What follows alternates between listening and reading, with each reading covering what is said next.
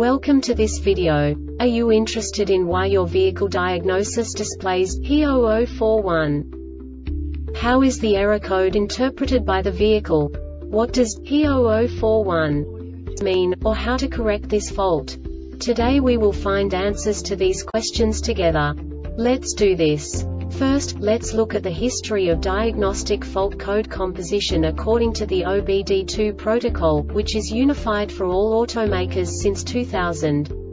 We divide the electric system of automobile into the four basic units. Powertrain, body, chassis, network. This distribution is defined in the first character code. If the second character is expressed as zero, it is a standardized error. In the case of numbers 1, 2, 3 it is a more prestigious expression of the car-specific error. The third character specifies a subset of errors. The distribution shown is valid only for the standardized DTC code.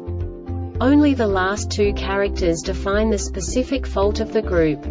Let's not forget that such a division is valid only if the other character code is expressed by the number 0. Our website airbagreset.sk produces useful videos for you. You do not have to go through the OBD2 protocol anymore to know how to troubleshoot any car breakdown. You will find all the diagnostic codes that can be diagnosed in a Mercury vehicles. Also many other useful things. The following demonstration will help you look into the world of software for car control units. You unbelievably can move the video a bit further. The error code is split into two bytes consisting of 16 bits. One bit is the basic unit that each computer works with. The bit has two logical states.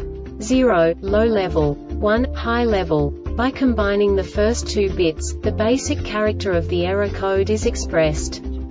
The next two bits again determine the second character. The last bit styles of the first byte define the third character of the code. The second byte is composed of a combination of 8 bits. The first 4 bits determine the fourth character of the code. And the combination of the last 4 bits defines the fifth character. A single byte conceals 256 possible combinations.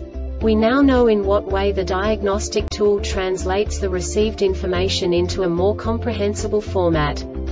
The number itself does not make sense to us if we cannot assign information about it to what it actually expresses. So, what does the diagnostic trouble code P0041 interpret specifically Mercury car manufacturers? The basic definition is reverse signal and now this is a short description of this DTC code. Reverse signal malfunction Hill start assist does not operate. This diagnostic error occurs most often in these cases.